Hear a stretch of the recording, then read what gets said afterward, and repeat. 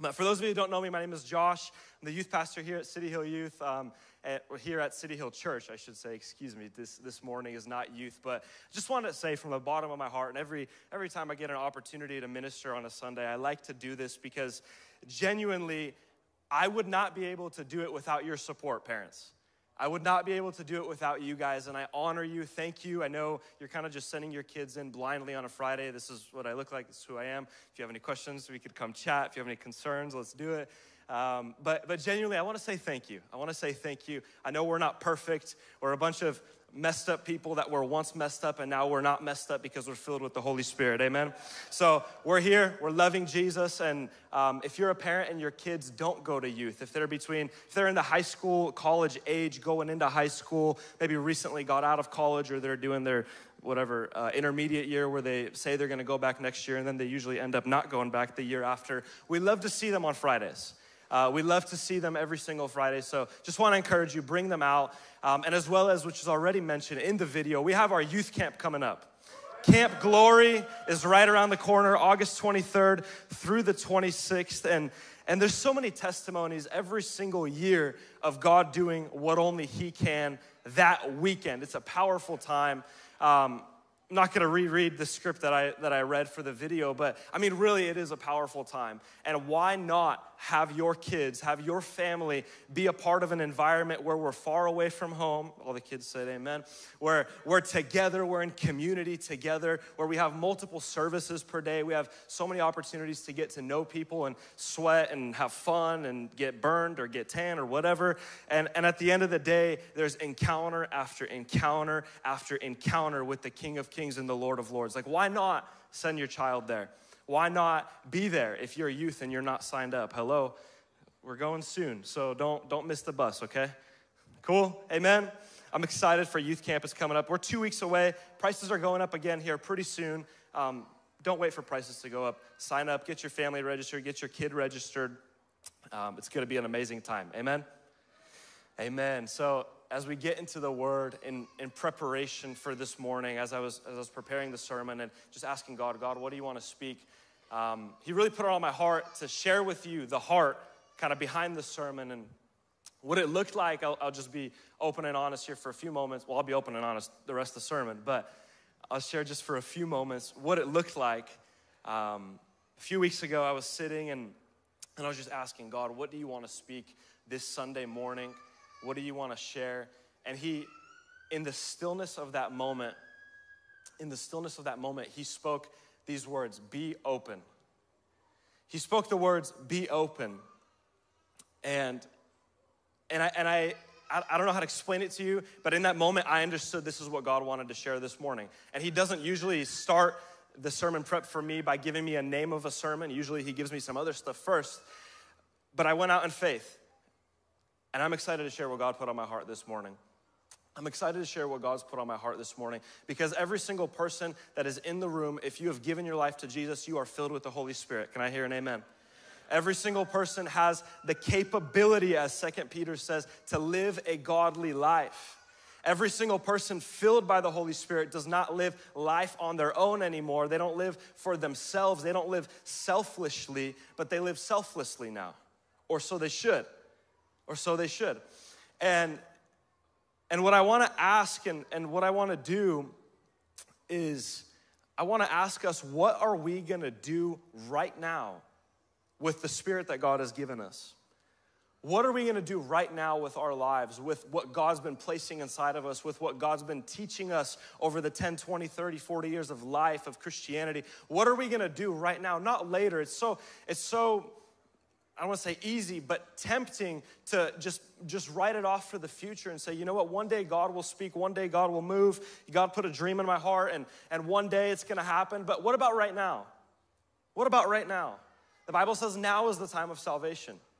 In other words, now is the time for healing. Now is the time for God to move in us and through us. It's not later. He will move later, but the time is now. Jesus didn't die and get resurrected again on the third day so that you could do it on the third year. He did it so he could do it now. And, and, and hear me, I say this with love, and obviously it's, you know, it's easier said than done and, and all these things, but genuinely, I mean, he's empowered us to do this. Amen? He has given us his precious Holy Spirit. So we're gonna get into the word. Before that, we're gonna pray. And I just encourage you, I challenge you even to ask God to speak to you. It's easy and tempting, like I said before, maybe not always easy, to sit here and, and say, well, the word's for someone else, the word is for the person on my left or right. But what if the person what if the word's for me? What if the word's for you? Amen? Come on, let's close our eyes, bow our heads. Jesus, we thank you, Lord. We invite you, Holy Spirit, we thank you for your presence here among us, God. God, we thank you that you are the same yesterday, today, and forever. Lord, we thank you that you were good, you are good, and you will always be good. God, that you were a loving father, you are a loving father, and you will always be a loving father, Lord. God, we thank you for the for the word that you have placed on my heart, Jesus, and I ask God that it speaks to every single one of us, myself included. Lord, come and do what only you can this morning. In Jesus' name, we all said, Amen. Can I start with an example and a little, little story, and then I'm going to build off of it? Is that okay? So, like, like I said, uh, I am a youth pastor, so I spend a lot of time with young people. And forgive me for my youthful examples. i have tried to like tailor them to the families more so, but there's still going to be a few youthful examples. So, with that being said, who has heard of or ever played the game Mafia? I think this applies to a lot of us. Praise be to God. I'm going to real quick summarize it. If you've never played, or maybe you, I don't know, maybe you've never played, or you've been under a rock or something, or you never got the opportunity to play this beautiful, amazing game called Mafia that we all love and hold and cherish uh, so closely to us. Real quick, let me just paint the setting for you. Typically, it's a group of about 15 people, maybe friends, not friends, people you know, people you don't know, or more. Get together. Usually, it's at a birthday, at the end of something, or at a bonfire. We're like, what do we want to do? Well, let's play Mafia. Okay. What is the game Mafia? It's a game where we're all together, and there's different identities that are handed out. So there's some obvious ones civilians, there's sheriff, there's doctor. Depending on how you play, there's a hobo that's handed out. Um, and of course, there's the dreaded mafia, right? And the goal is, I promise you, it's, an, it's like an encouraging and edifying game. But the goal is for these three, four, five mafia to kill everyone in the group, metaphorically, not actually physically. And I apologize for being graphic, but that, that's just the goal. And the goal of everybody else, the sheriff, it's to catch the mafia, right? The doctor, it's to save whoever the mafia might try to off, off with their head. Um, and the civilians, it's their job, in addition to everybody else, to decide and pick and essentially hold a court of law, saying, okay, you know what, Danny's the mafia or Ruben's the mafia. All right, Danny, why are you not the mafia? Ruben, why are you not the mafia? We vote, and then one of them gets selected, and that's how we go. And the end game, the mafia, obviously, they want to be the last ones alive. Everybody else, they want to stay alive. So they want to win, right? And in this game, me personally, I'm going somewhere with this, I promise. Me personally, the climax of the game is when there's a little bucket being passed around with little pieces of papers with something written on them called identity. And the climax for me is that moment because it's at this moment that I know I'm either going to be a mafia, a sheriff, doctor, whatever else, or I'm going to be the dreaded civilian that gets to do nothing the entire game except for get abused and probably die in the game. And that's what I don't want. I, I can't stand being a civilian. I feel like I'm just doing nothing and I might as well clock out for the rest of the game. But this is the climax for me personally. And I want to relate this back to our lives because every single one of us, whether, hopefully you're not a mafia, but whether you're a sheriff, a doctor, or whatever else, I mean, you get what I'm saying, not actually a sheriff or a doctor, but whatever else, whatever season you might be in your life, there's a certain moment in every one of our lives where it feels as though we're doing nothing. There's a certain moment in every single one of our lives where it feels as though, and maybe it actually is and doesn't even just feel this way, that there's no point for us to even really do anything. Like we're just kind of on autopilot. Life is running us instead of us running life. And, and we're, we just kind of exist. That, does anyone relate to that? Have you ever been there? I've certainly been there, where you just kind of exist. And as a believer, it's tempting to sit back and to wait until we have more time, or it's tempting to sit back and wait until the dream God put on our heart just magically happens, right? But here's the deal that it's not really how it works. Like I said, the Holy Spirit's been given to all of us that have received Jesus as our Lord and Savior. Amen? So it's not right for us as believers to be sitting and waiting for a move of God to come like a lightning bolt and strike us, and then the next day we're on fire for the Lord. When day one, we were doing nothing. That's not how it works. Does that make sense? It's a gradual progression. And this game, I'm not gonna talk about it too much more, but I will, I will jump into scripture right now. This game, it reminds me of a character in scripture. His name is David, King David. And really, the life that he lived before he became a king, he wasn't all that known. So, before we know David as the man that killed Goliath, you know, the story of David and Goliath. We know him as the one that wrote many of the Psalms in the book of Psalms. The Bible calls him a man after God's own heart. We know him for some of his moral failures, unfortunately. We also know him for the selfless moments that he lived when he was being persecuted by his family and, and so on. There's so many things we could say about David. He's a really famous man in Scripture, right? But David, like all of us, at one point in our lives, was kind of a nobody. David, at one point in his life, he, well, he was a shepherd. He was a shepherd, he was the son of Jesse. And I'd like us to turn to 1 Samuel chapter 16. It'll be on the screen. We're going to read a few verses, verses 4 through 7, and then we'll continue. 1 Samuel chapter 16, verse 4. This is what it says. So Samuel did as the Lord instructed. And when he arrived at Bethlehem, the elders of the town came trembling to meet him. What's wrong? They asked. Do you come in peace? Yes, Samuel replied. I have come to sacrifice to the Lord. So purify yourselves and come with me to sacrifice. And then Samuel, he performed the purification rite for Jesse, for his sons, and he invited them to this sacrifice also. And when they arrived, Samuel took one look at Eliab, who was the oldest son, and he thought, Surely this is the Lord's anointed one.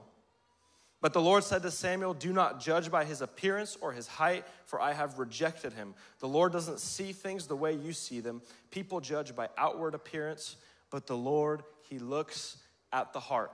Say heart. So, some context here. In this time, Israel, what was going on is they were asking God to give them a king. So they were asking Samuel, Hey, Samuel, we really want a king because all the other nations of the world, they have a king, but we have nobody to rule over us. When in reality, God wanted to be their king, is what the scriptures say. But God, nevertheless, as a gentleman, he said, Okay, you know what? This is not good for you, but this is what you want. You already made up your mind. I'm going to give you a king. So he gave them King Saul. Say Saul.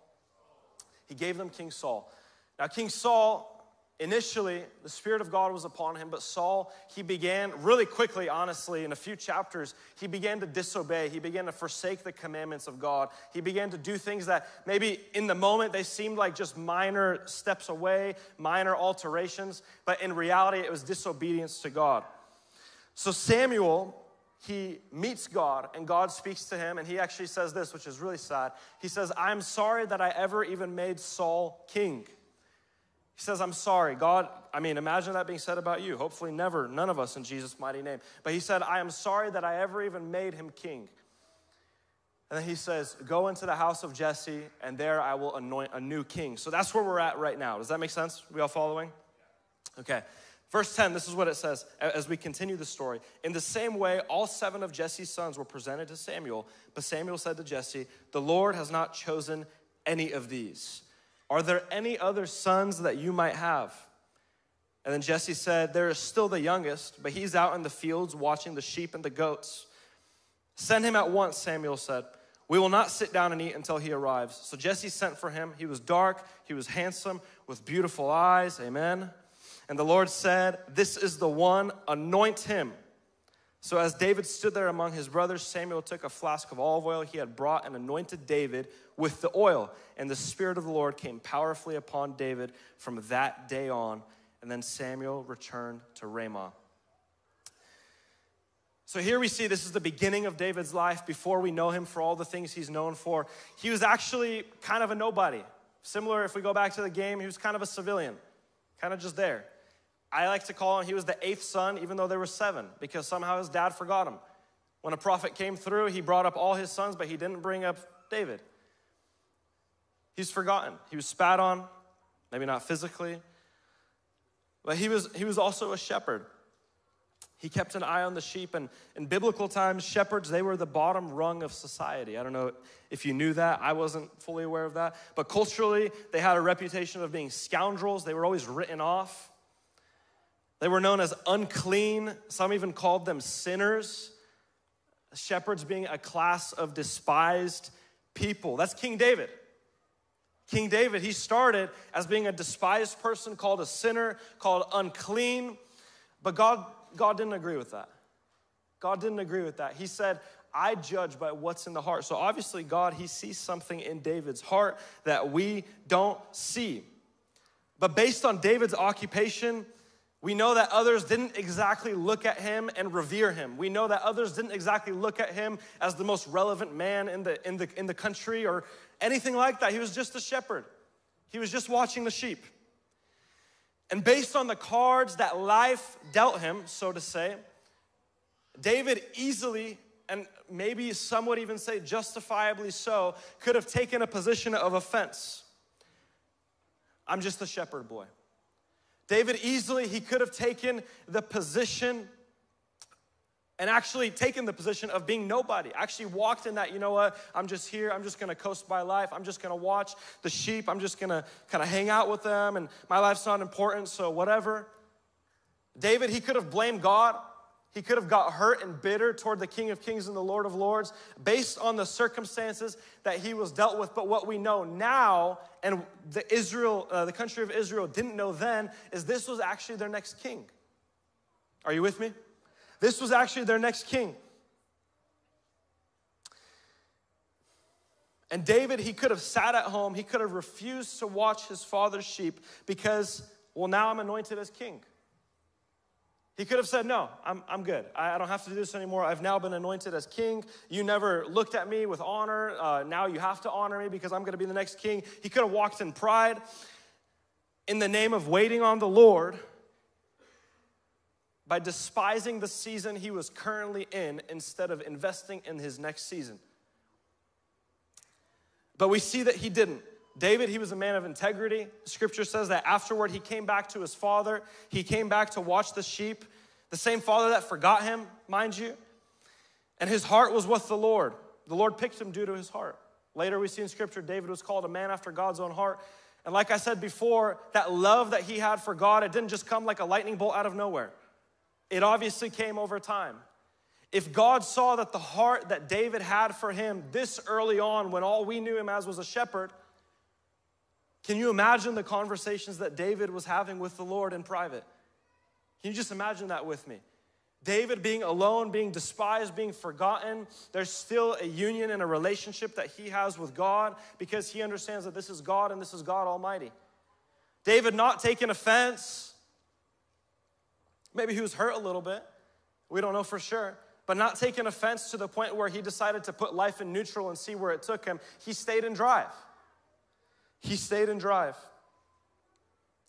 And as adults, as, as busy young people, as parents, as businessmen, as, as full time mothers, whatever else, whoever else is in the room, we can easily have a life that's flying on autopilot, despising what God wants to do in us and through us right now, today, in hopes that maybe someday He will do something. Can I tell you something? I really believe, from what I see here in Scripture, God is watching what we do today. God is watching what we do today. August, says August 11th, right? All the accountants in the room. August 11th, thank you. Today's August 11th. God actually cares about what we do on August 11th. And we might be looking at 2027. We might be looking at our five year business plan. And, and all these things are great. Don't get me wrong. It's good to, I mean, the scriptures even talk about if you don't count the cost, how foolish of a builder are you? And that's, and that's true. That, there's truth in that. It's important to look ahead, but we can't look so far ahead that we despise what God is doing right now. Or should I say, what God wants to do through us right now? Does that make sense? So, God wants us to step back and be open to us for what He has in store right now. Say now. And when we look at David, this is my this is my first point if you're taking notes. David was open to what God had for him now. He was open for that. And what did God have for him now? Or can I even say this? What does God have for you now that you cannot disprove? That you, no matter how many, no matter what you tell me, you can't tell me that this is a lie. God has a relationship with him in store for you right now. That's what God has for us right now an intimate friendship, communion with the King of Kings and the Lord of Lords, because otherwise, He wouldn't have sent His Son to die for us. Otherwise, He wouldn't have given us the Holy Spirit. So you cannot tell me that a relationship with God is too far fetched. A relationship with God is for today. A relationship with God is for right now, I would even say. It's for during worship. It's for during the sermon. It's for when we pray for food. It's for when we're washing our cars. It's for when we're in the workplace. The Bible calls us a temple of the Holy Spirit. Can you say temple? Say temple. A temple of the Holy Spirit. A temple in the Old Testament, and, and I've been, I've shared this with a few of you, but it's really been on my mind lately. A temple, it's the meeting place between heaven and earth. So if we are called the temple of the Holy Spirit, we are the meeting place between heaven and earth. It means we're in two places at one time. We are both in heaven and on earth. What does that look like? That's too spiritual. That's I don't understand. Can I please just break it down simply? This is what it looks like. I work an office job. I work, let's call it a nine to five. It's a seven to four, but let's call it a nine to five, right? I work a nine to five job. That means I'm on earth. Does that make sense? I don't fly to Neptune or something to go work my job. I'm here physically on earth. But I also have the Holy Spirit in me, which means I am bringing heaven to my workplace. One, one pastor said it this way to be a disciple of Jesus, it's not just about discipline. It's not just about, and it is about these things, hear me right, but it's not only about picking up your cross. It's about being in two places at one time. It's being both in heaven and on earth because we are called to bring heaven down to earth. Does that make sense? David, he continued to remain in God's presence. Like I already said, the scriptures called him a man after God's own heart. He was also a shepherd. So you're telling me you could be a man after God's heart or a woman after God's heart, but still and be a doctor at the same time? Yes. You can be a sheriff and still be a man after God's own heart? Yes. You could wash your car and still commune with the King of Kings and the Lord of Lords? Absolutely. My dad, who's not here, he's not here. My dad, who's not here, he's had some of the craziest revelations in washing his car. He's had some of the most pivotal moments. He shared this with me, and I don't say this to boast or anything, and he's not here. So he's had some of the most pivotal moments of his life where God has spoken to him to actually start a ministry from the ground up while he's washing his car. While he's washing his car.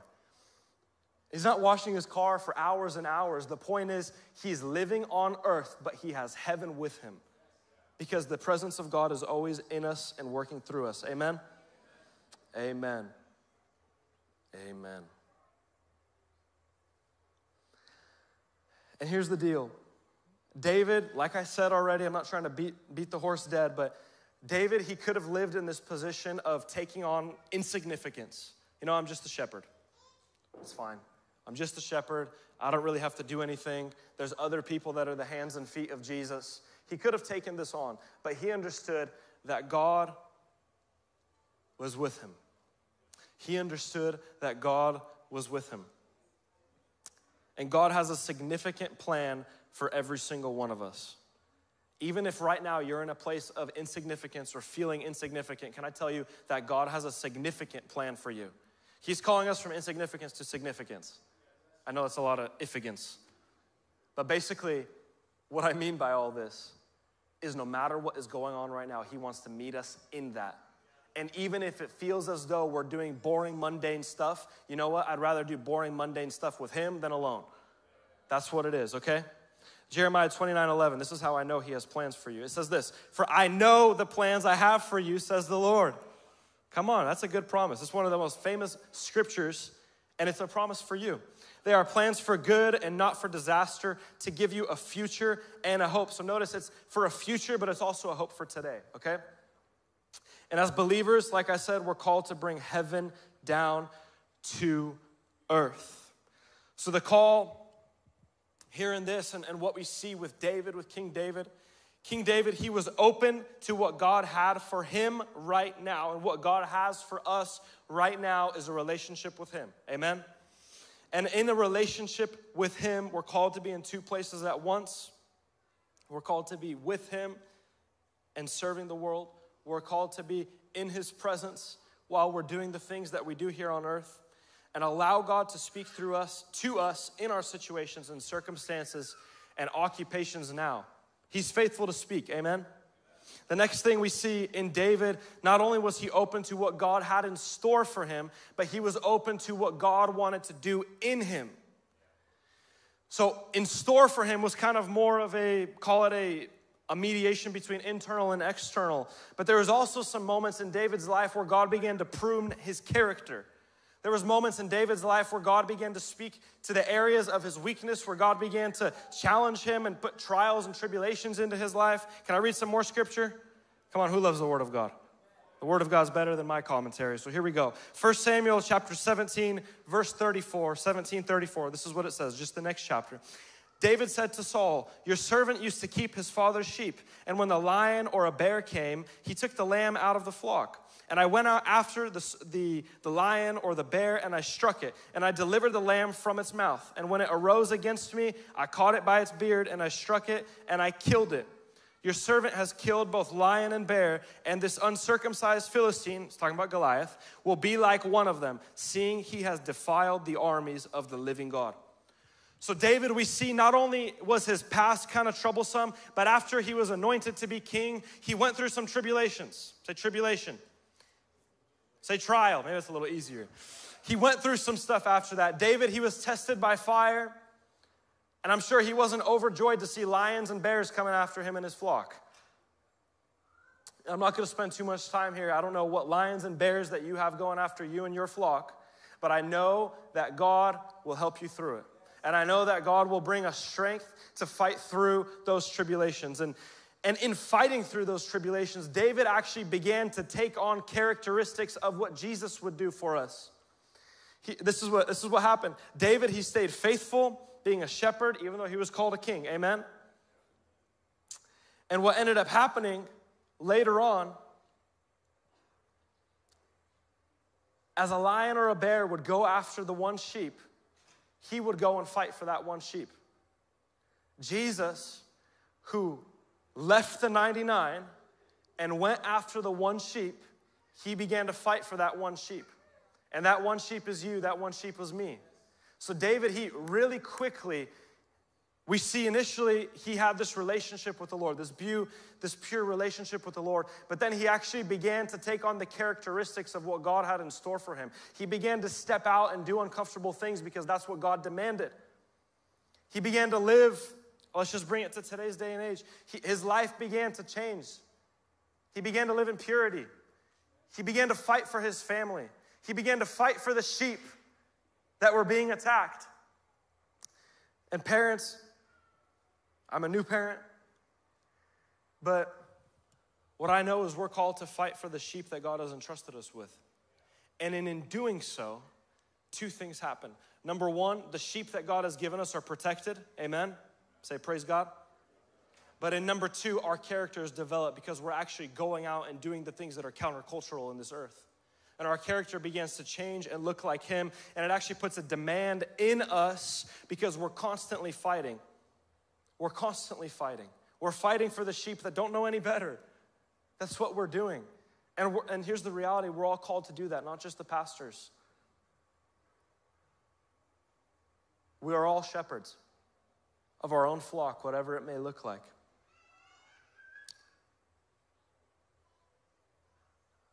Mark chapter 2, verse 17. We could put it on the screen, this is what it says. When Jesus heard it, he said to them, Those who are well have no need of a doctor, sick people do.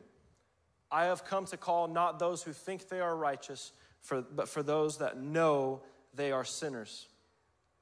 Jesus, he makes the comparison here of sinners to sick people and those that are righteous to be those that are not sick. Does that make sense? And Jesus, he's known as, as the great physician. He's the one that heals, but he's also the one that heals our heart.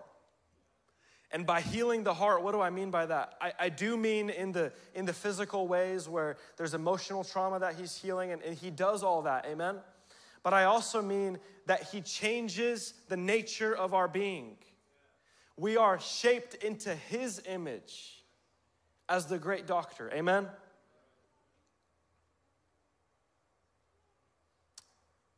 And he's such a good doctor that he wasn't sick. I don't know about you, but I wouldn't really want a doctor that's sick with whooping cough to treat me for whooping cough. Not a good idea.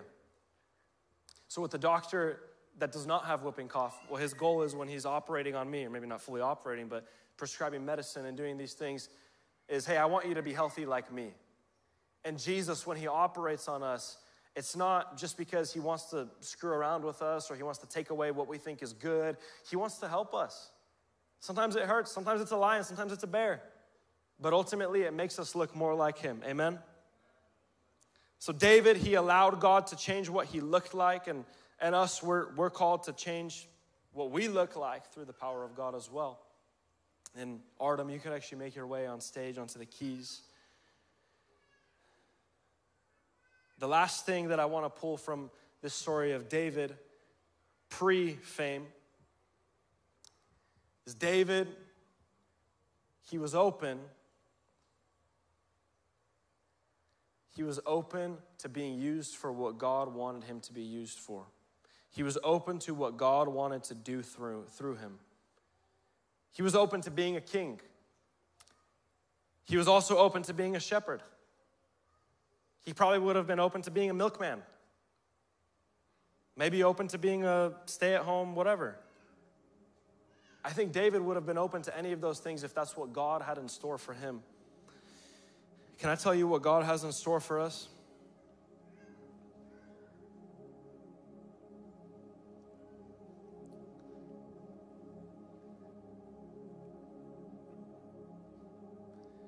Again, we're called the temple of the Holy Spirit. God brings His Spirit down into us to do what? God wants to change the world through us. God wants to change the world through us. If I go back to my my silly mafia example, as much as I don't like being a civilian in the game of mafia, here's the thing I know. Without civilians in the game of mafia, there's no winning. I'll say it again. Without civilians in the game of mafia, there is no winning. Without the insignificant role of a civilian that can't really do much, there's a lot of them, but they, you know, they're not the ones that open their eyes when everyone else has their eyes closed. They're not the ones that maybe drive the game. In this world, in this life, it's the body of Christ that is called to carry out the will of what God has in store. It's the body of Christ. Let's just, let's just call it the people that feel as though they have no part to play have the biggest part to play.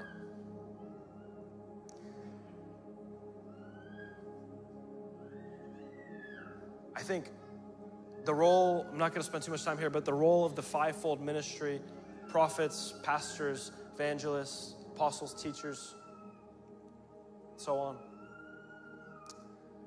I think those are the ones that oftentimes are, and in some ways rightfully so, but those are the ones that are oftentimes, well, you know what, you take care of it. Pastor Paul, I know you're not here today, but you know, you take care of it. You're the pastor, it's kind of what you're supposed to do. Did you know that the role of a pastor is to edify you? The role of a pastor is to edify the one that is not the pastor. The role of a pastor is to activate and to send out the one that is a civilian the one that feels as though there's nothing for him or her to do. In other words, I'm just going to speak as if I'm at youth here for a moment. My job for the youth is not to preach great sermons. My job for the youth is to activate you to spend time with the Lord. It's to activate you to look like the Lord, and it's to activate you to walk like Jesus did. Because I will not save the world. Jesus died to save the world, and He gave us His Holy Spirit to go and walk out what He has called us to do. Even if we had every pastor and every evangelist and every teacher and, and whatever else, every prophet, serve 200% of the time and, and give 200% effort and do all these things, that would not nearly be enough. Because the Bible says He's coming for a pure and spotless bride, not a pure and spotless pastor not a pure and spotless evangelist, although that is a part of obviously the bride of Christ, but he's calling all of us to rise up and to go. He's calling all of us to be open, to be open to what God has in store.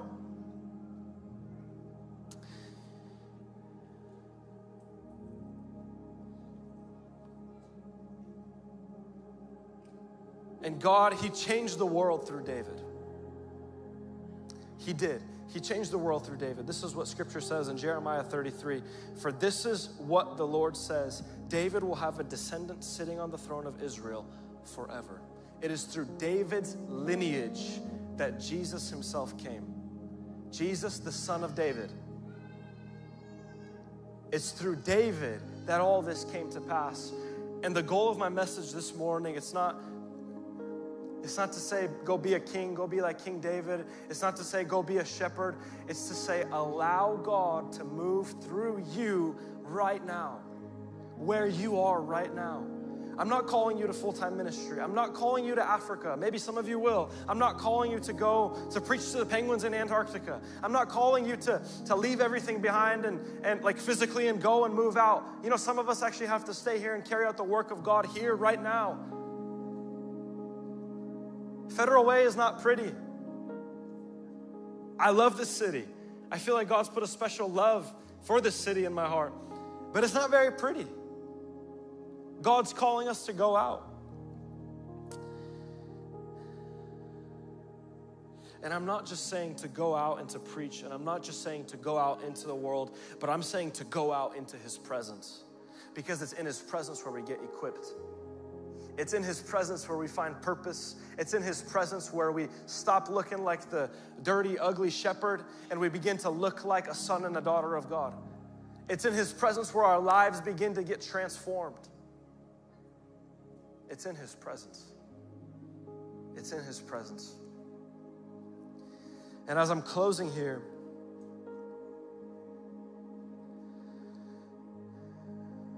I just, I've been feeling this for a few weeks now. Can you imagine what this church would look like if we were all open to a relationship with Jesus? I'm not saying if we're all open to being Christian. Unfortunately, there's a difference between being a Christian and being a disciple. A disciple is one that lives with Him only. A disciple is one that leaves everything behind, goes after Him every day, brings heaven down to earth. A disciple is one that follows Jesus. A disciple is one that actually walks with Jesus, that He's the first thought in the morning, He's the last thought in the evening. Could you imagine with me what our church would look like if we were a room full of believers that were disciples and apprentices to Jesus? In the electrical field, if, if you do it legally, of course, if you're an apprentice, it means you have to be with your journeyman. There's some different rules to it, but it means for the most part, if your journeyman's not there, you can't be there. If the guy that's above you is at a different job site, that's where you gotta go because you're not legally allowed to be alone. And can I tell you that as believers, I would even say we are not legally allowed to be away from Jesus because He is the great, He is the truth, He is the life, He is the way, He's the one. And to forfeit that, to step away from Him, is honestly to step away from being a Christian. because it's with Him that we find our purpose. Amen. Could you imagine what this church would look like? And hear me, I'm saying this with love, but but if we if we took the trials that God has been giving us and if we took the things that we have been learning and we applied them and we began to serve selflessly, and we began to raise our families selflessly, we began to love selflessly. Mark, he preached a, a word on the many things that could disunify us here in this world, but the one thing that can always and will always unify us, and that is Jesus. Can we imagine a church that decides to forfeit preferences for the name of Jesus? A church that decides to just lay everything down because that's what he did?